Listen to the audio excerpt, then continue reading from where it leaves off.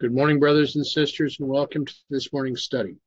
As we look to open the words that God would have us to study, shall we ask for his guidance and his direction? Shall we ask for his wisdom and for, for him to enlighten our minds so that we might be able to consider more carefully that which he would have us to understand? Be with us now, direct us in all things. So may we now bow before him in prayer. Gracious Father in heaven, we thank you for the many blessings that you have been providing. We ask now, Father, for your direction and your guidance. Help us and direct us so that which we study may enlighten us so that we may more properly consider the words that you would have us to understand. We thank you, Father, for this time that we may spend together in study. We ask now, Father, for your blessing for the watch care of your angels, and for the enlightenment of your Holy Spirit. Direct us now, be with us, we ask. In Jesus' name we pray. Amen. Okay, we were continuing through several points of Daniel chapter 12 from what Uriah Smith had presented from 1868 through 1871. Now, there was a point that was brought out this last week in the Thursday study. When we were looking at different portions of the original publishment of the articles that became thoughts on the book of Daniel. When we looked at the article that was published on the 16th of May of 1871, there was a point that was made that this article was published on the 25th day of the second month of the biblical year 5916. Do you all, those that were here on Thursday, do you recall this? Mm-hmm. And the other point that was pointed out was that this also was interesting because it was the 25th day of the second month of the biblical year. It was the 25th day of the second month of the rabbinic year, of rabbinic year 5631, and the 25th day of the second month of the Islamic year of 1288. Now, as I have been looking and preparing for other studies, I was a bit surprised because when when we look at the portion that was published for chapter 11 beginning with verse 17 and going from verses 17 to 20. That particular study, published on the 24th of January of the same year, 1871, was published on the second day of the 11th month of the biblical year 5915. But it is also the second day of the 11th month of the rabbinic year, and the second day of the 11th month of the Islamic year. It's an oddity because we do not know yet how often the rabbinic, Islamic, and biblical years would coincide with the same type of a, a numbering situation. Yeah, well, the way that would work is every 32 years and seven months, the the rabbinic or the Islamic calendar comes around to to catch up. Um, so so you would say well every 32 years and seven months, but but um, the biblical and rabbinic line up. I don't know how often. Um, I'd have to figure that out. But anyway, you're looking at probably you know one in every 70 years or more more than that. So it doesn't happen very often. Well now there you got 211 which is of course uh, stephen's birthday. But the the 225 that's or was that 525 or 5 25 252 252 right that's may 16th 1871 right and then this Correct. one is so so that is the first study. That's the first study on Daniel 12, yes. Okay, and then this one, what's what's the one that's 211?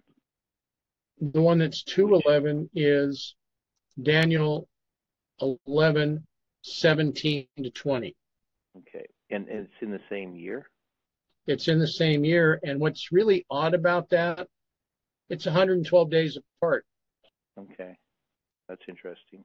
Now, what was the one that was 49 days apart? What was that? Uh, that was the first study of Daniel chapter 12 to the second study of Daniel 12. Okay. Okay, so we're dealing here with, um, so this study starting in 1871, that's the study of Daniel, or the study of Daniel 11 begins in 1871? Daniel 11 and 12 were in 1871. Okay. When did he start the study on Daniel? 1868. And what was the date for that? Just a moment. If I have this correctly, and I believe that I do, third of, excuse me, this would have been 3rd of January of 1870, not 1868. And we had some um, 1870. And we had something with um, the date didn't match up properly. January. Well, let's see what we find. Hang on. Yeah, so January 3rd, 1870. That's that's a Monday, uh, the 30th day of the ninth month on the biblical, first day of the 11th month on the rabbinic, and 30th day of the ninth month on the Islamic.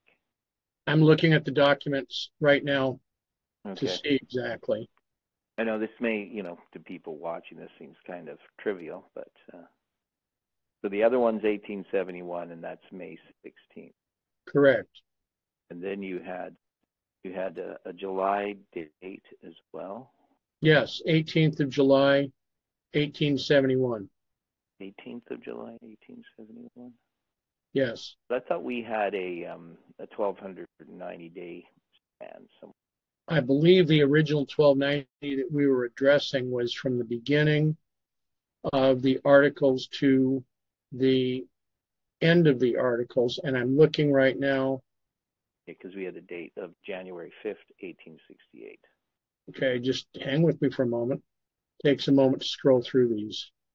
I've also noted as I go through these old review and heralds mm-hmm. that I have to pay attention to the direct heading because what's normally on the following pages for dates can be an error more often than not.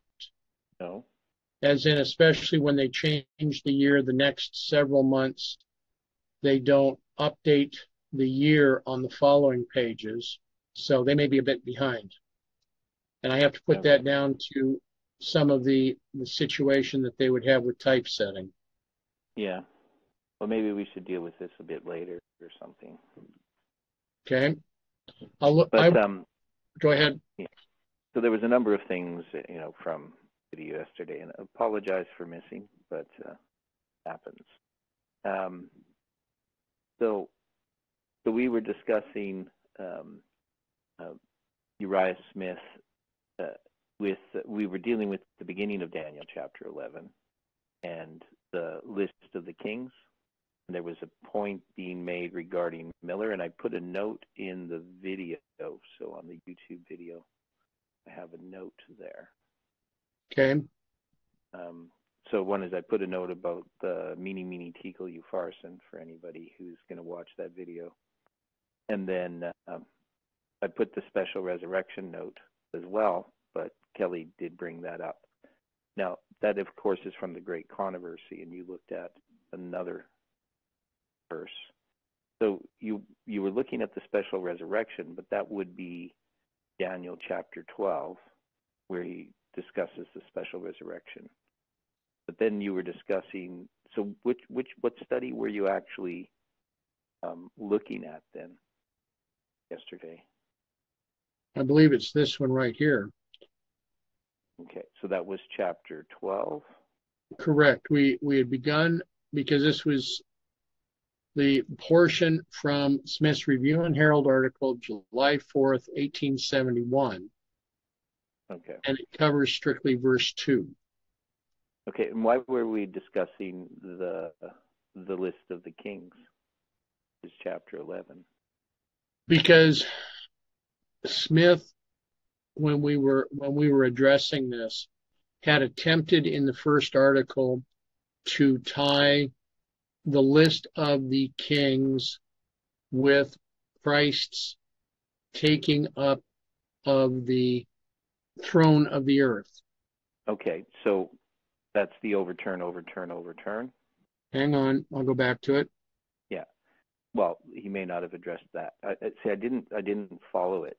But um, so the idea is that we know that we have, you know, you have Jehoiachin is the last uh, king before Zedekiah, and Zedekiah's his throne's going to be so Babylon takes over, right, at the time of Jehoiachin.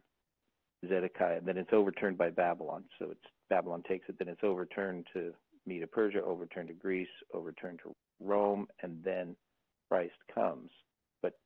I, I didn't follow what was being said. Okay, Really, I put this back up from the study yesterday. Smith wrote, We come now to the second question What is the standing up of Michael? The key to the interpretation of the expression is furnished us in verses 2 and 3 of chapter 11. okay. There shall stand up yet three kings in Persia. A mighty king shall stand up that shall reign with great dominion. There can be no doubt as to the meaning of these expressions in these instances. They mean to take the kingdom, to reign. The same expression in the reverse under consideration must mean the same. At that Oh, time, so he's just using this idea of standing up that Christ takes his kingdom, correct. Okay. Now then, why were we talking about the list of the kings? So, so I know William brought up um, William Miller's list, which is wrong. So William Miller doesn't put false Smerdis in there, but I didn't understand the relevance of that in this this point. Sorry about that. But It's all right. Smith does put false Smerdis in there. I believe Yeah. he lists them as as the second or third king. Well, he's gonna he's gonna be the second because you got Cambyses, false Smerdis, um, Darius, and then the third, the fourth, or richer than them all, is Xerxes, and he had that correct. So, so I didn't. So there was this discussion regarding his dependence upon commentaries for that, or Yes. well, we depend upon commentaries for that too, because otherwise we would have no idea. I mean, we could read uh, Ezra and figure it out, but it's pretty difficult. Ellen White uh, gives us the same list in Study Ezra. Yeah, the the direction that they were taking here, that we, as we were having this discussion, hmm was that using the commentary of Bishop Newton, Smith wrote, The angel, after sta- stating where he stood in the first year of Darius to confirm and strengthen him, turns his attention to the future. Three kings shall yet stand up in Persia. To stand up means to reign. Three kings were to reign in Persia, referring doubtless to the immediate successors of Cyrus, that they were Cambyses, son of Cyrus, Smerdis, an impostor, and Darius Hystaspes. hmm Yeah, so we would need a commentary in order to find that information. We wouldn't know that from the Bible. Okay, now going back to your question Mhm. regarding the documents, the dates, etc., on the first publication on Smith's thoughts on Daniel. hmm As I am currently on the Review and Herald site, hmm the Review and Herald on this claims that the article was published, as they say, on the third day, January 5th, 1868. Now, Yeah, so, and we know that the, the third day of the week, they mean, Tuesday. right, but it's actually a Sunday, January 5th, 1868. Okay, now here's here's the odd part of this. hmm This document, while the publication shows 1868, is filed under the Review and Heralds for 1869. Oh, okay. Well, yeah, so if you go to 1869, um, January 5th is a Tuesday. So that's maybe the correct date. So what does that do to the numbers that we were we were addressing here? Well, it, it, it doesn't make it 1290 days, it makes it 924. Okay, But we still have a 1290 being represented there with the incorrect date. correct. Kind of an oddball situation, isn't it? Yeah. Okay. So interesting. Now, the other the other discussion that was being had was in regard um, to the special resurrection. Correct. So, so, so again, I was having a hard time. I don't know why. I was having a hard time following watching the video. Um, now, so he's having this difficulty because of where he's placing close of probation and events after the close of probation. Correct. So so he didn't appear to have it as the special resurrection. He had it as the general resurrection. He tried to separate. There's the, the resurrection of the righteous before the thousand years and the resurrection of the wicked after the thousand years. I think that's what I gathered from. Okay. Here here is where we were at. I put this document back up. So Smith asked the question, why may it not be the former or the resurrection which occurs at the last trump? Answer, because those who are then raised are all righteous. So his reference to verse 2, which reads, And many of them that sleep in the dust of the earth shall awake, some to everlasting life, and some to shame and everlasting contempt. Right. And then he's going to go through this linguistic thing, which makes no sense to me whatsoever, what he's saying about language. Right. Um, because, I mean, this is the special resurrection. This isn't referring to. Um, I'm not. I, I, I couldn't follow what he he was saying, so I don't know how you guys sorted it out. This is the part I think we got to right at the end of yesterday's meeting. hmm I don't think we sorted. maybe we can sort that out now.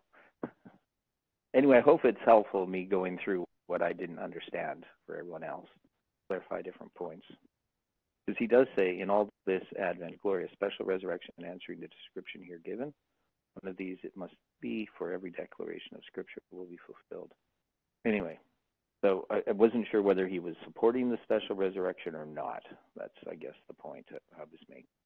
Well, Smith's statement, but the resurrection brought to view in the verse before us, 12:2, both righteous and wicked come up together. That's his premise. Oh, okay. So that okay. So that is the special resurrection. So he does have it correct. So it says, It cannot therefore be the first resurrection, which includes the righteous only, nor the second, which is as distinctly confined to the wicked.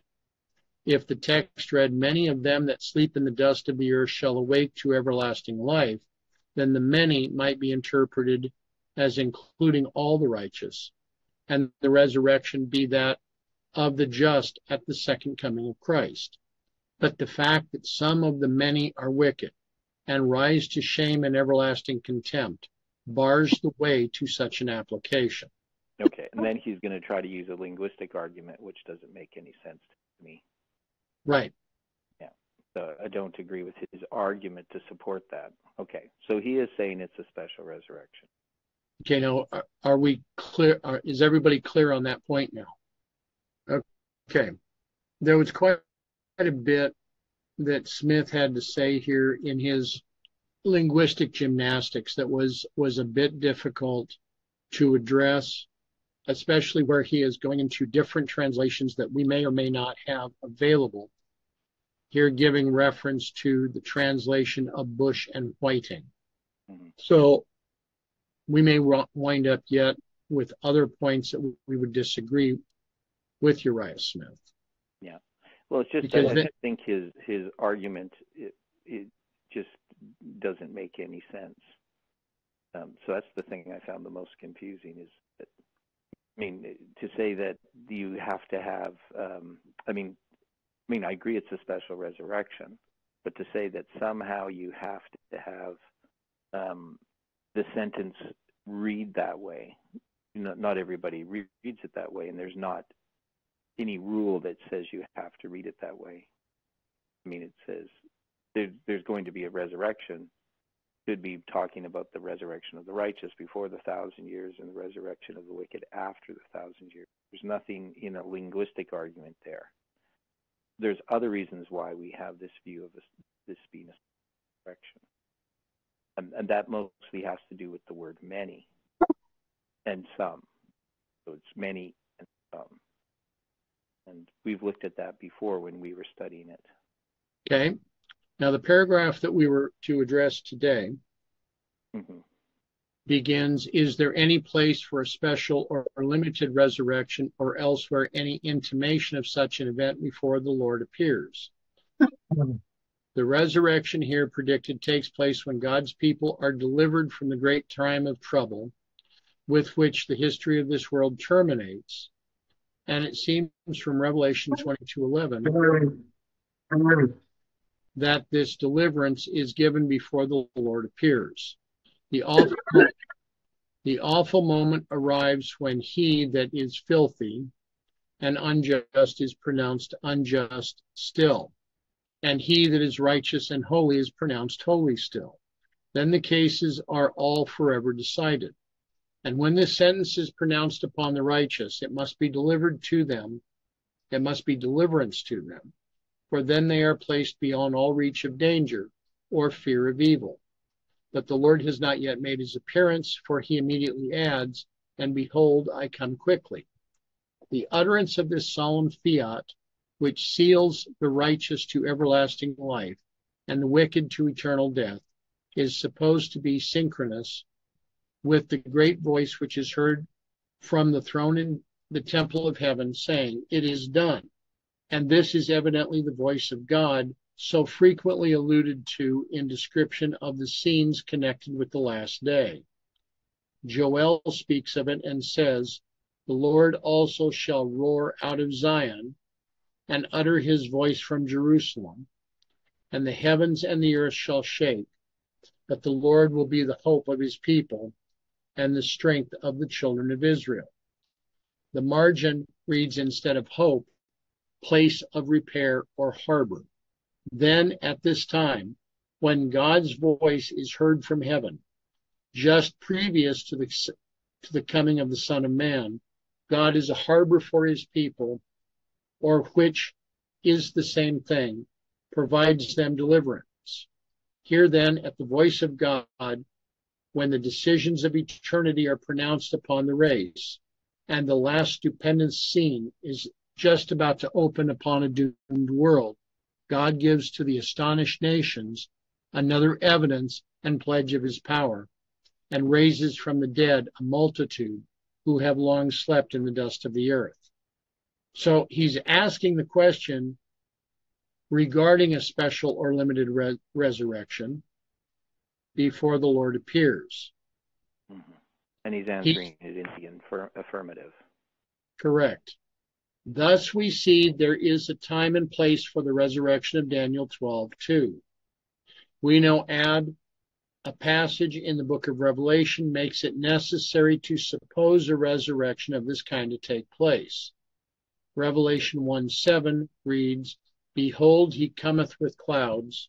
This is unquestionably the second advent, and every eye shall see him of the nations then living on the earth and they also which pierced him, those who were actors in his crucifixion, and all kindreds of the earth shall wail because of him. Those who crucified the Lord would, unless there was an exception made in their cases, remain in their graves till the end of the thousand years, and come up in the general assembly of the wicked at that time. But here it is stated that they behold the Lord at his second advent. They must therefore have a special resurrection for that purpose. Yeah, these are these are the verses that I would have used rather than that linguistic argument. But he's using both. But uh, it's almost like he's using the linguistic gymnastics as a filler to make his article go a little longer. well, I don't know. He probably thinks it's a good argument, but um, I don't think it is. But these are the reasons I would give. The, those that uh, pierced Christ are going to see him coming in clouds. Okay. And it is certainly most appropriate that some eminent in holiness who have labored and suffered for their hope of a coming Savior, but died without the sight, should be raised a little before to witness the scenes attending his glorious epiphany, as in like manner a goodly company come out of their graves after his resurrection to behold his risen glory, and escort him in triumph to the right hand of the throne of the majesty on high. And also that some eminent in wickedness who have done most to reproach the name of Christ and injure his cause, and especially those who secured his cruel death upon the cross and mocked and derided him in his dying agonies should be raised as part of their judicial punishment to behold his return in the clouds of heaven a celestial victor in to them unendurable majesty and splendor. Now, I read this and I've got to ask a question. Is he saying that there's going to be two parts to the special resurrection? One where righteous and wicked are raised, and then additionally, some additional righteous are raised? Uh, I didn't or am I miss that. No. Okay. He's just showing that there's the righteous and the wicked are both raised. So you got these two classes, and and their reaction to it.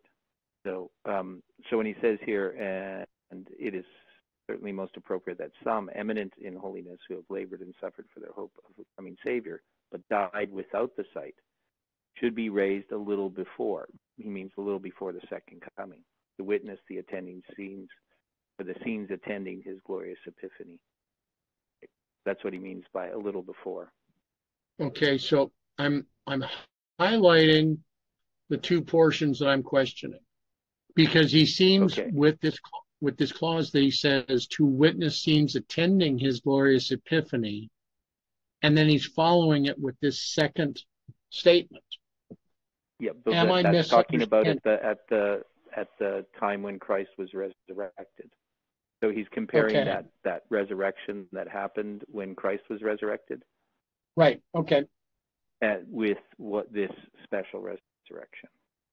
Okay, so I stand corrected. Thank you. Okay. All right. One more remark upon this text before we leave it. It is supposed by some to furnish good evidence of the eternal conscious suffering of the wicked, because those of this character who are spoken of come forth to shame and everlasting contempt. How can they suffer these, it is asked, unless they are conscious? It has already been stated that shame implies their consciousness. But it will be noticed that this is not said to be everlasting. This qualifying word is not inserted till we come to contempt, which is an emotion felt by others toward the guilty parties, and does not render necessary the consciousness of those against whom it is directed. And so some read the passage, some to shame and the everlasting contempt of their companions. And so it will be shame for their wickedness and corruption will burn into their very souls, so long as they have this being. And when they pass away, consumed for their iniquities, their loathsome characters and their guilty deeds excite only contempt on the part of the righteous, unmodified and unabated, so long as they hold them in remembrance at all. The text, therefore, furnishes no proof of the eternal suffering of the wicked. Do we have any questions about that? Do we have any comments? Do we agree with Smith on, on his point? Yeah, I agree with him on that. Okay. Okay, we will go to this next document.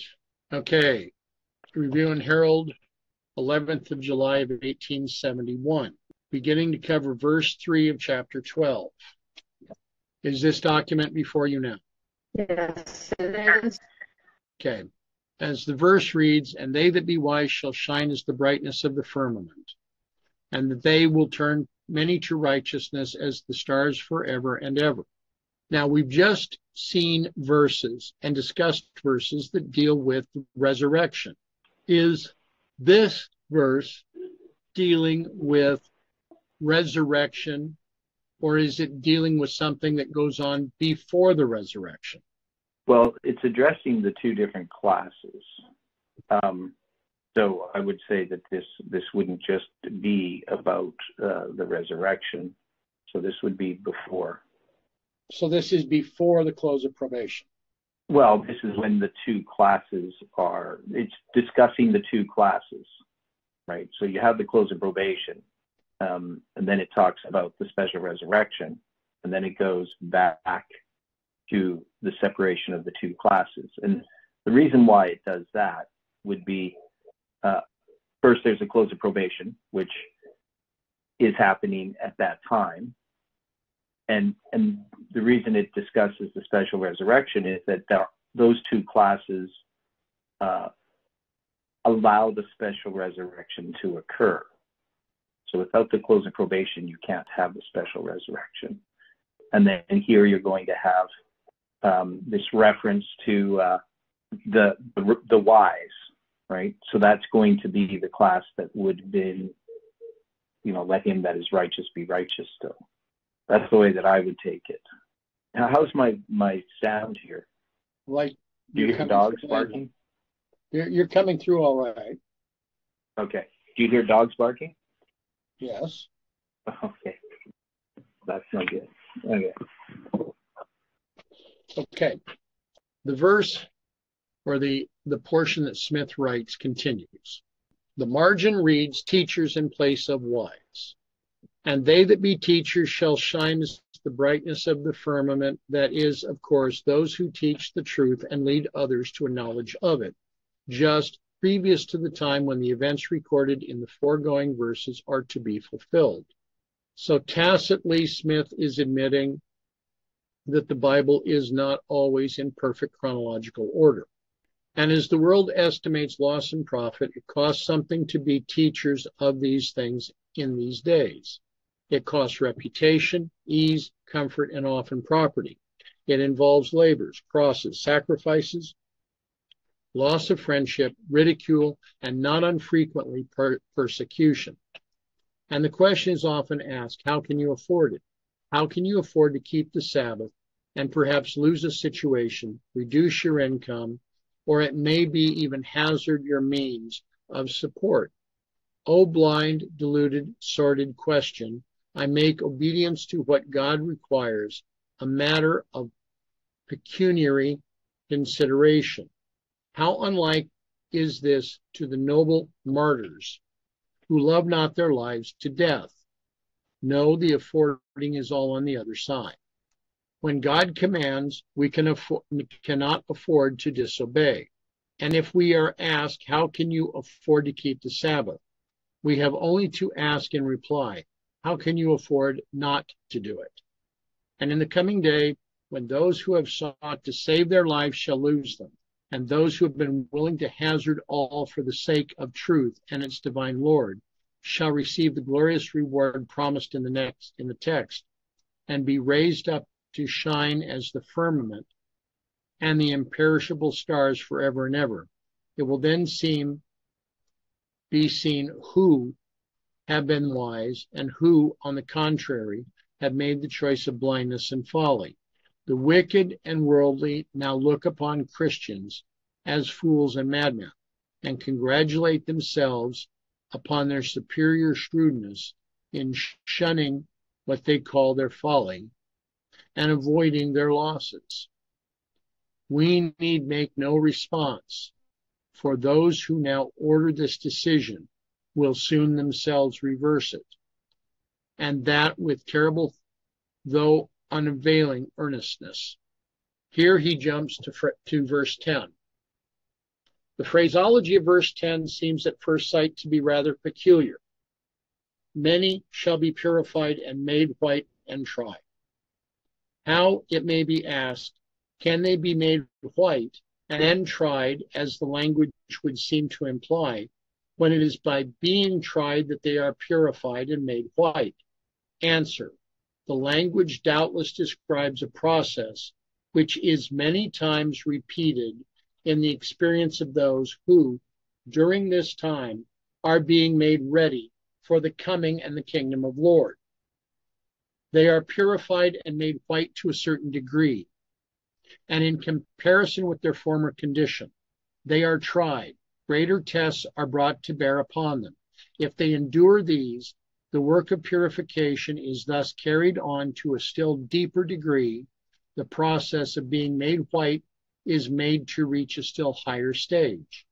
And having reached this state, they are tried again, resulting in their being still further purified and made white. And thus the process goes on till characters are developed, which will stand the test of the great day, and a place is reached beyond which there is no need of further trial. Any thought or comment about his point here? Well, we had we had studied this um, because we had compared this uh, to the other verse in chapter 11, which was uh, 22 or something. So, so when we go, I just got to look it up. or 28. It's 35. 35, way over at 35. Okay. Oh, right. Yeah. So some of them of understanding shall fall to try them, to purge them, and to make them white. And we had noted that this is in a different order. So in chapter 12, uh, verse 10, many shall be purified, made white, and tried. So the other one has tried, purified, and made white. Right? Try them, purge them, and make them white.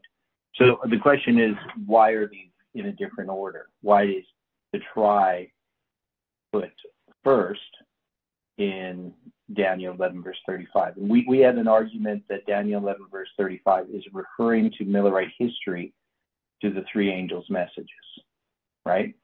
Right. Okay. So, um, so in chapter 12, even though it's it's referring to uh, the same idea. This is this is not the same time period. This is our time period, correct? I would have to agree. Yeah. So the tried there, would that not refer to the tr- time of Jacob's trouble? So you have these two classes after the close of probation. So this group has been purified, made white, and tried, but the wicked shall do wickedly.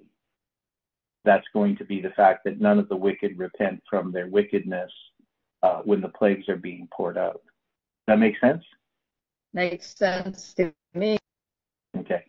So, so I mean that's that's an option. In the context here, because he's going to talk about the time of the end, but remember we have two times of the end. So we have the time of the end in 1798, the time of the end in 1989, and then he's going to go back in verse 11 to the daily being taken away. Now, now why is why is he jumping to this verse all of a sudden? What was the reason for that? I missed that. You can't. I was putting wood in the fire, so I, I missed exactly why he switched to verse 10. He was trying to make a point to support verse 3. Yeah, but why? What's what's the point? Well, can, can you go back on the screen a little bit just so I can see what? There. Right. So he's going to be addressing particularly wise. Correct. I guess. Okay. Okay. So that does make sense why he why he refers to this. So that's going to be those after the close of probation. So that would agree with what I'm saying. That verse 10 that that must agree that must be after the close of probation, not before. Well, the process could begin occurring before the close of probation, but it would Oh, yeah. it would end after. Yes. But that's why I'm saying the tribe is the time of Jacob's trouble. Right. Okay. So, so this would agree with what, what, what he's saying in his application of it. Okay. Go on. Okay. So here again, Smith is using linguistic gym- gymnastics to try to support some of his points. We recognize that verse 3 is referring to a period prior to the close of probation. The phraseology of verse 10 may also be related in that same manner because after probation is closed, how can those be purified? After probation is closed, why do they need to be tried? So it's just questions. To remove to remove the earthliness. After probation is closed? That's what Ellen White says. After probation is closed. hmm Where do we find that? It's in the Great Controversy. Okay. Um, I'll find it here.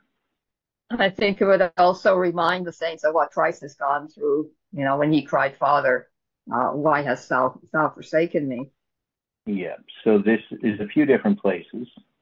Um, the one I was thinking actually is in uh, at least the wording that I was familiar with. Um, dealing with the time of Jacob's trouble. This is Spirit of Prophecy, Volume 4, Chapter 34, The Time of Trouble. And this is um, uh, page 438. She says, Yet Jacob's history is an assurance that God will not cast off those who have been deceived and tempted and betrayed into sin, but have returned unto him with true repentance. While Satan seeks to destroy this class, God will send his angels to comfort and protect them in the time of peril. The assaults of Satan are fierce and determined. His delusions are terrible. But the Lord's eye is upon his people, and his ear listens to their cries. Their affliction is great. The flames of the furnace seem about to consume them, but the refiner will bring forth as gold tried in the fire.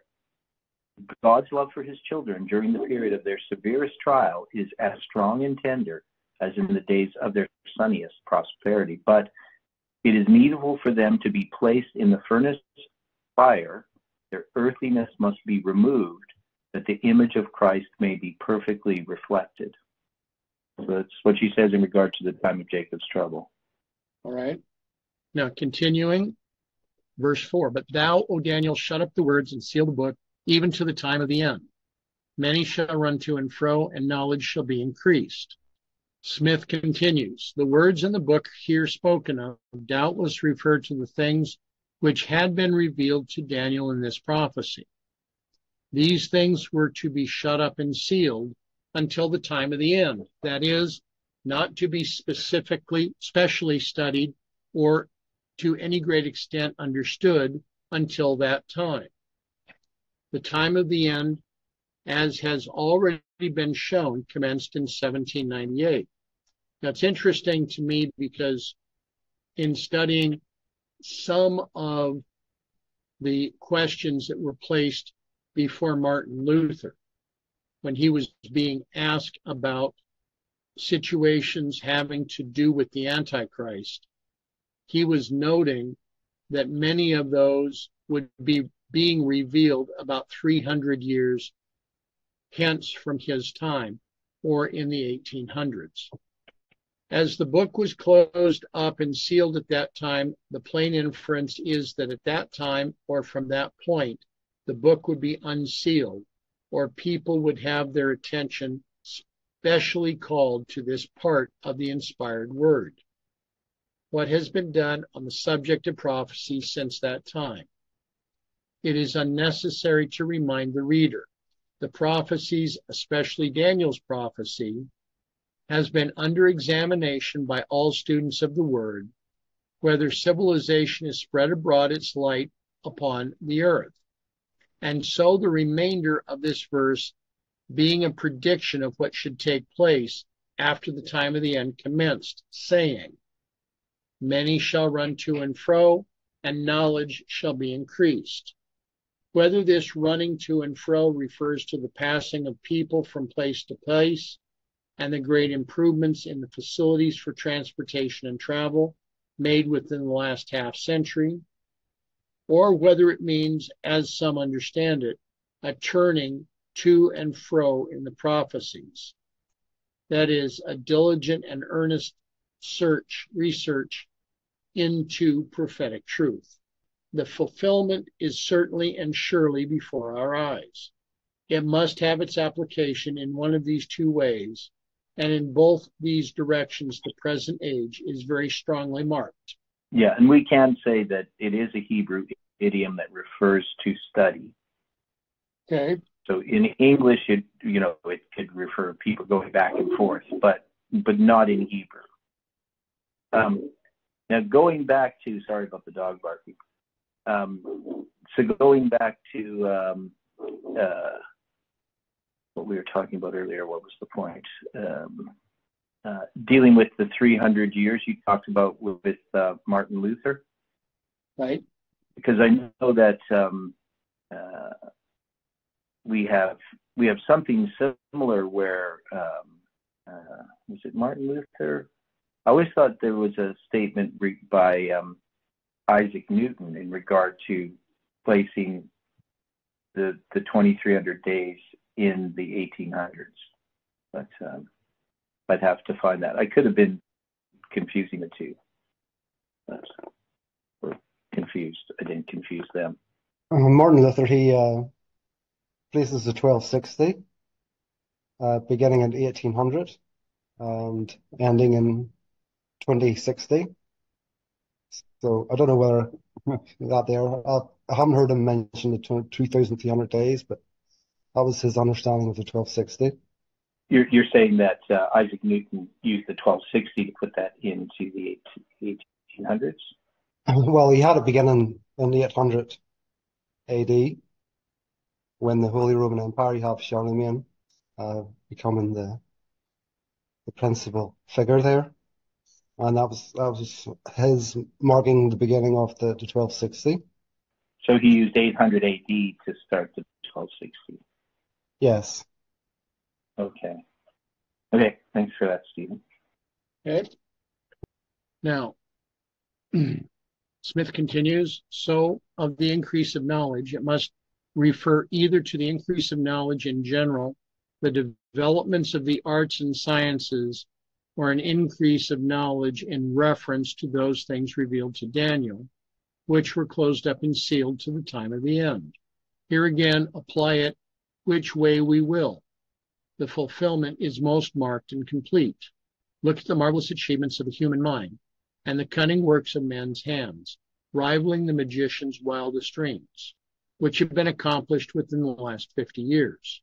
It was recently stated in the Scientific American that more advancement had been made in all scientific attainments and more progress in all that tends to domestic comfort the rapid transaction of business among men, and the transmission of intelligence from one to another than all that was done for 3,000 years previous put together. Would we agree with that? Scripturally, could we agree with that?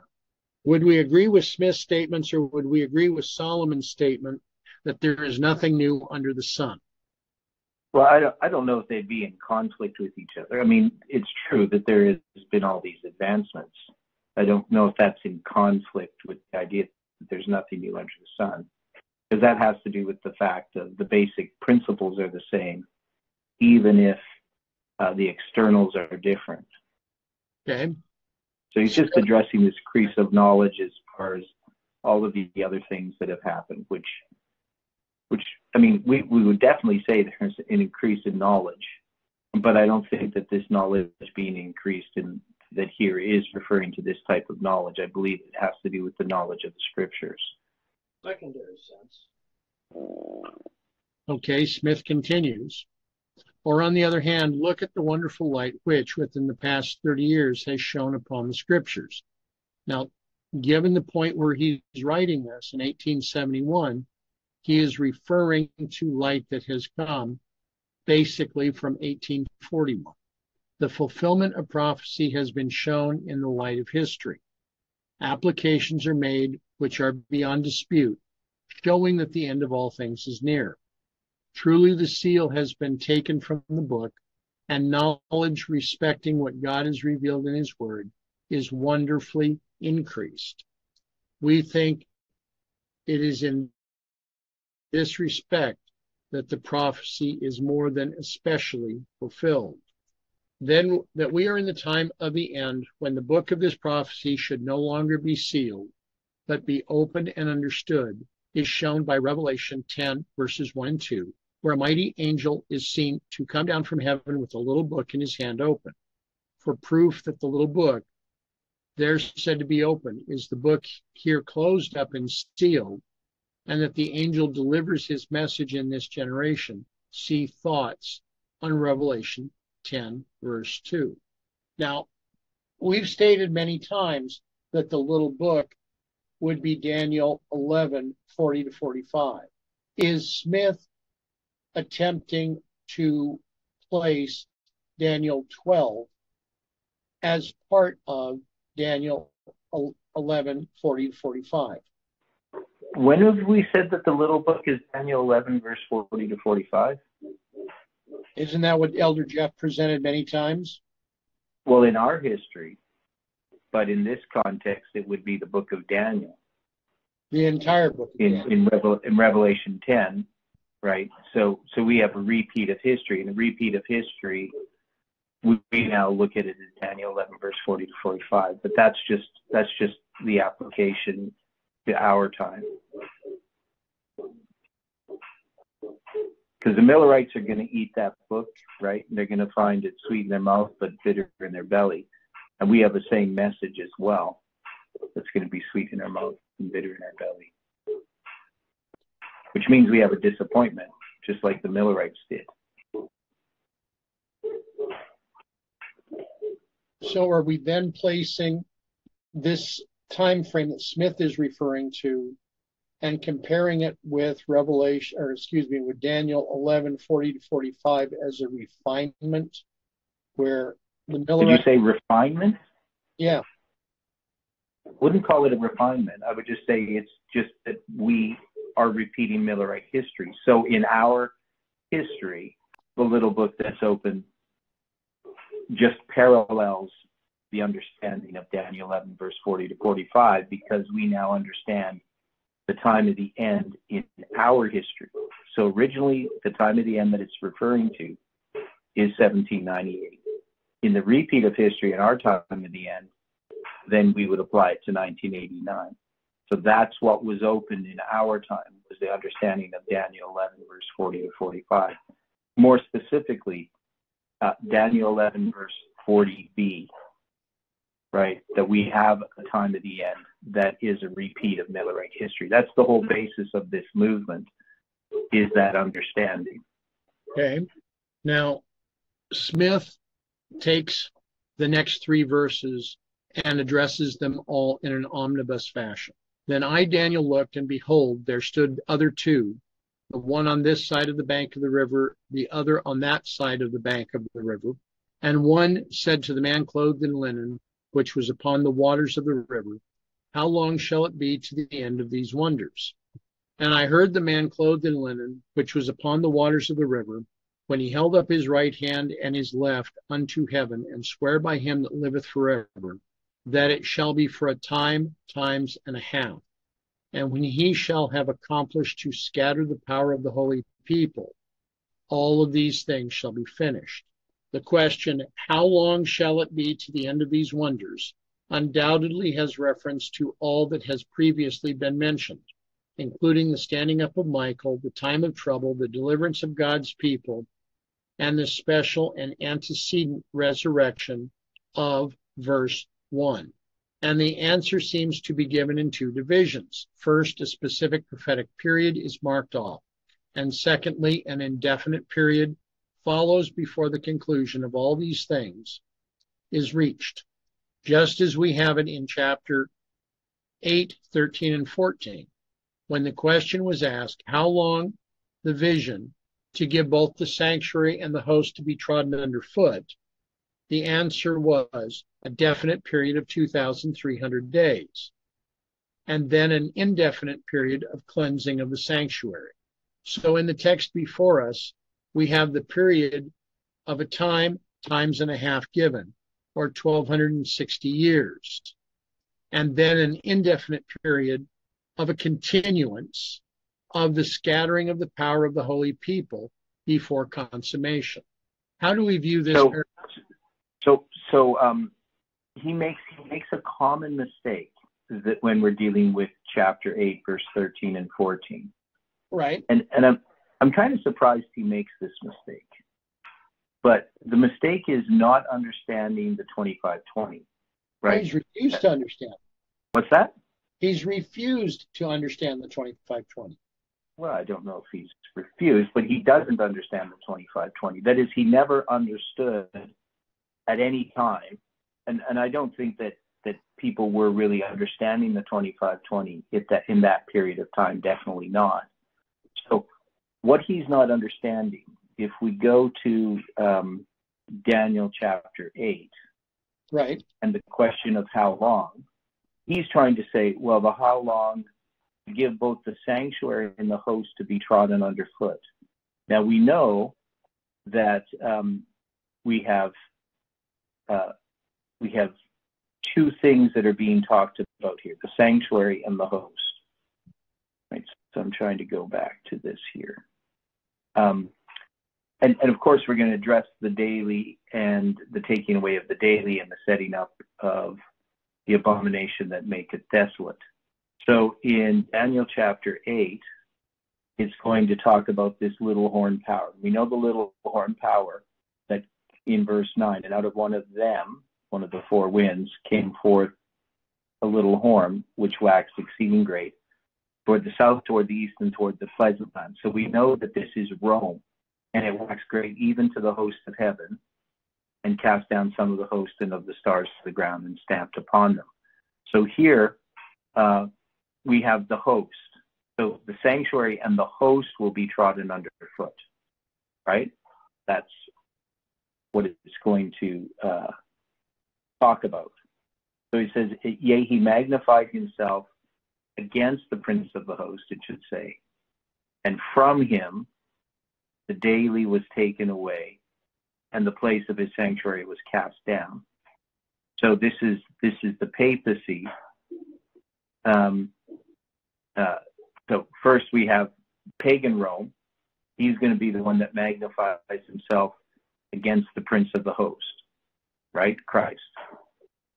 And then from him, that is pagan Rome, uh, the daily will be taken away and the place of his sanctuary cast down, referring to the city of Rome. And an host was given him against the daily by reason of transgression, and it cast down the truth to the ground, and it practiced and prospered, is a reference to um, uh, the papacy, right? So the papacy is the one that's going to, um, that host is given against the daily, right? So the him is a supplied word by reason of transgression. That is the abomination of desolation and it cast down the truth to the ground. It practiced and prospered. Then the question is, I heard one saint speaking, and another saint said unto that certain saint which spake, How long shall be the vision? We know that that vision there is the chazon. So the vision has concerning the daily sacrifice and the transgression of desolation, that is the abomination of desolation, to give both the sanctuary and the host to be trodden underfoot. And then that's when the answer is unto me 2,300 days, then shall the sanctuary be cleansed. So the sanctuary is not being, um, you know, in, in, the answer to that question, if we were going to take that in the way that the standardly is understood, 2,300 days would have to begin at the time in which the sanctuary has been trodden underfoot, right? You understand what I'm saying? So people would have to start it either at the destruction of Jerusalem or they'd have to study, right? you, you understand what I'm saying. But there's a specific point in which we start the 2300 days, and it's not going to be at the destruction of Jerusalem. No. If you say that this is the heavenly sanctuary, then you, you couldn't start that until the papacy comes. So this has always been the problem. Where do we start the 2300 days? And it's William Miller who came to the understanding that we have these two desolating powers, paganism and papalism. And with that understanding, we can then see that the 2300 days is a portion of the 2520. But he doesn't have that understanding. Smith does not. Does that make sense? Makes sense. So he's going to make the same error then in answer to this question about how long shall it be to the end of these wonders. And he's then going to say, well, this must be the 1260 days of papal supremacy, right? That's, that's what he's going to argue, right? So he says, well, we have this, these two divisions. First, there's this period given, 1260 years, and then this um, indefinite period, which is the cleansing of the sanctuary. So he's going to have the 1260 years, and then an indefinite period of continuance of the scattering of the power of the holy people before the consummation. But that makes no sense because the scattering of the power of the holy people is the period that happens under the daily. And he, he there's no way that he can understand that if he doesn't understand the 2520. So what's can you see how his argument is faulty? What's that? What's the scattering the power of the holy people? Okay, so that's that's the. Period that happens in the first 1260. So we have the trodden underfoot. So there is the power that treads underfoot is the papacy. When we when we've gone through this study before in other times, but um, he's going to you're going to see this in Revelation chapter uh, 11 when you go there, and it's going to talk about the 40 and two months, right? So it says um, in verse 2, but the court which is without the temple leave out and measure it not, for it is given unto the Gentiles, and the holy city shall they tread underfoot 40 and two months. So you'll see that the treading underfoot and the stamping upon them, that's also going to be in um, in Daniel chapter 7, talking about that diverse beast that it stamps, right? Which would be the same as treading. So that's going to be the papal power that treads or stamps. But I'm just my my question was uh, more more what is that power of the holy people? Okay, so that that is referring to the Jews. That that has to do with their um, their kings, right? So the power refers to, you know, um, uh, political power, right? Because you, you have that with, um, and, and that also connects us to Leviticus 26, the breaking of the pride of their power. Oh, So this would refer to the Yeah. to the kingdoms Babylon, Media, Persia, Greece, and Rome that scatter God's people. Does that help? yeah, yeah, that connects the dots for me. Thank you. Right, yeah. So the scattering of the power of the holy people cannot refer to the papal period. It has to refer to the pagan period of the 1260 or of the 2520, pardon me. So it's the 1260 pagan period, but it's the pagan period of the 2520 because there's the pagan and the papal. And and and this Ellen White never takes uh, this verse, verse seven, a time times and a half of Daniel 12 and apply, applies it to the papacy. So if she thought it did apply to the papacy, she would have. It's sort of an argument from silence, but uh, she does refer to the other periods of 1260 that are mentioned and applies uh, um, and apply it to the papacy, but she doesn't with this verse. So, so obviously she would not, not since she doesn't ever do that. It allows us to see that it is applying to paganism. So the way that Daniel 12 works is it's addressing the whole purpose of Daniel 10, 11, and 12 is to teach Daniel about the 2520 because he already understands the 70 weeks. He had understanding of uh, the matter and he had understanding of the vision, that is the vision of the evenings and mornings, the mareh. So he understood the 2300 days and he understood the 70 weeks. But now here in, in 10, 11, and 12, what's being addressed is the 2520. So he doesn't fully understand how that fits in. And the 2520, of course, is based on Leviticus 26. And, and he's been praying about this and trying to understand and put all these things together.